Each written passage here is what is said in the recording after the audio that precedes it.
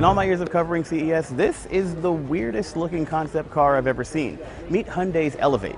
It comes out of the Hyundai Cradle Robotics and Artificial Intelligence division, and it's envisioned as a rescue vehicle for really rough terrain.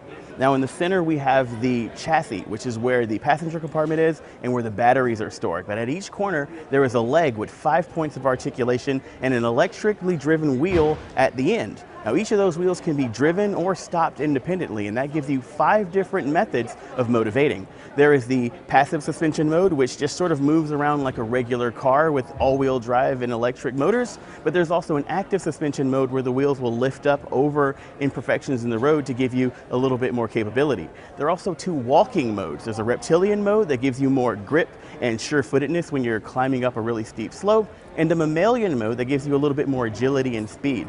There's a fifth mode called omnidirectional. I don't really know what that means, but it basically looks like it's doing whatever it needs to do to get where it needs to go. Now imagine a vehicle that can rescue people by stepping over a five foot wall to get where it needs to be or expand its wheelbase to 15 feet. This vehicle can do that. But on a smaller scale, like what if your car that slipped off the road in a blizzard could just get up and walk back on the road and get you where you're going? That's what we're talking about with cars that have legs like the Elevate concept here. But for now, they're working at 1 8 scale because, well, this is the concept, but it's pretty cute. Be sure to check out the rest of our coverage of CES 2019 for even more cool car technologies and wild concepts like these.